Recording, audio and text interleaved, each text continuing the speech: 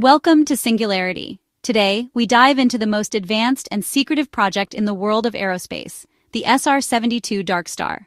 It's fast, it's powerful, it's officially under development, and it could redefine everything we know about air superiority. If you thought the SR-71 Blackbird was the king of the sky, wait until you meet its successor.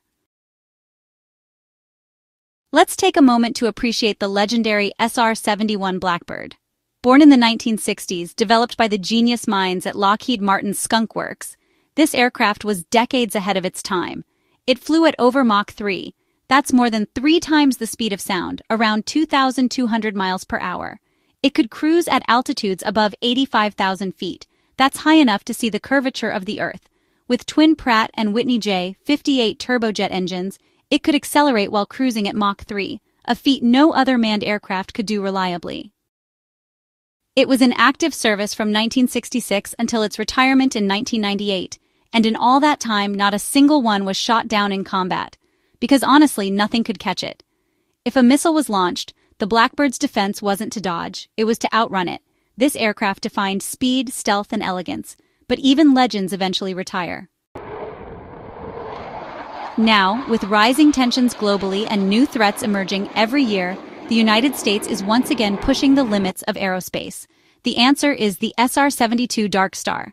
Designed to succeed the SR-71, the Darkstar isn't just a spy plane, it's a statement. And this time, it's not science fiction. It's officially under development. We're talking about a machine capable of hitting Mach 6. That's nearly 4,600 miles per hour, twice as fast as the SR-71. At that speed, it could fly from New York to London in less than an hour. To fly that fast, the SR-72 has to fly high, higher than 90,000 feet, almost at the edge of space. And at those speeds, heat becomes a major issue. Friction with the air alone will heat the skin of the aircraft up to 1,500 degrees Fahrenheit. That's enough to melt most metals, so the aircraft has to be made of ultra-advanced materials like carbon composites and titanium alloys. Every inch of the craft has to survive and perform in extreme conditions. Now, how does it go so fast? The magic is in the engine. It uses a revolutionary propulsion system called a turbine-based combined cycle. Let's break that down in a simple way. At low speeds during takeoff, it operates like a turbojet, similar to regular jet engines. As the speed increases past Mach 3, it transitions to a ramjet. Ramjets don't have moving parts. They use the high-speed air flowing in to compress and ignite fuel. Above Mach 5, it shifts to a scramjet a supersonic combustion ramjet, which burns fuel in supersonic airflow. This combination allows it to go from the ground to hypersonic speeds without needing separate rocket boosters or engines. That's game-changing. But the SR-72 isn't just about going fast for the sake of it. It's being developed for very specific missions. First, it will serve as a reconnaissance platform, a next-generation spy plane that can gather data, scan enemy territory, and deliver information in real time. Unlike satellites, it can change its flight path on the fly, dodge weather, and respond to threats dynamically. But there's more. The SR-72 is also expected to have strike capability. Yes, this plane might carry hypersonic missiles, maybe even tactical nuclear warheads. It could enter hostile airspace at six times the speed of sound, deliver a devastating strike, and exit before enemy defenses could even react. That kind of ability shifts the strategic balance entirely. Imagine a future conflict where the SR-72 is deployed. Enemy radars light up, but within minutes the plane is already gone. And it didn't just observe, it left behind destruction, hypersonic strike, no chance to defend, no time to retaliate. That's not just speed, that's power, that's control. It gets even more interesting. The SR-72 will likely be designed with both manned and unmanned options.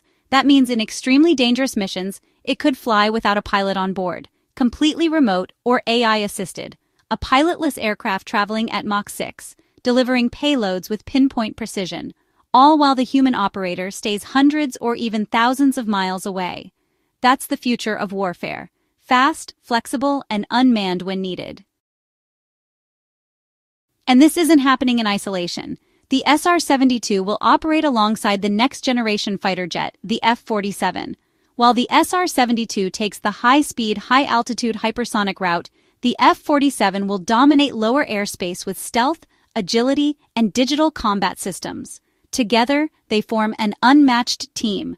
The SR-72 scouts and strikes from above.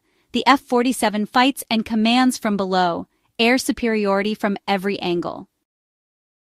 This partnership ensures that the United States remains far ahead of any competitor in terms of aerial dominance. Whether it's China developing hypersonic missiles or Russia testing next-gen fighters, the combination of the SR-72 and F-47 sends a clear message, don't mess with the skies we control. Now let's talk timeline. A working prototype of the SR-72 is expected to fly by the end of this decade, possibly as early as 2028. Full operational deployment could begin in the early 2030s. And if some of the rumors and mysterious sightings near Area 51 or Edwards Air Force Base are to be believed, test flights might already be happening under wraps. Either way, Lockheed Martin and the U.S. Air Force are moving forward, and billions are being invested to make this aircraft a reality. And just to be crystal clear, this isn't just Hollywood fiction. Yes, the SR-72 made a brief appearance in Top Gun Maverick as a stealthy hypersonic concept, but what we're talking about now isn't CGI. It's a real project with real engineers, real prototypes, and real strategic implications. If successful, the SR-72 will give the U.S. a unique capability, global reach at hypersonic speed, without detection, with lethal force. It's about showing strength, it's about keeping peace through overwhelming technological superiority. And yes, it's about punishing any hostile nation that dares to challenge that peace. So what do you think? Should the SR-72 be piloted or fully autonomous? Do you believe hypersonic aircraft are the future of warfare? Or will drones and AI take over entirely? Could a plane like this really carry nuclear missiles and escape before anyone reacts? And do you believe the SR-72 could already be flying in secret? Let us know in the comments. We'd love to hear your take, your questions, and your ideas for the next episode. Should we do a full breakdown on the F-47? Or maybe cover hypersonic weapon development around the world? Or how about we explore the shadowy world of secret U.S. projects like the rumored TR-3B anti-gravity craft? Whatever you're curious about, let us know. And if you found this fascinating, informative, or just straight up cool, do us a favor. Hit that like button, smash that subscribe button, and turn on notifications so you never miss a deep dive from Singularity. This is your home for aerospace, military tech, sci-fi concepts becoming real, and the bleeding edge of defense innovation. Remember, at Mach 6, the sky is just the beginning. Thanks for watching. This is Singularity. Stay sharp, stay fast, and stay ahead.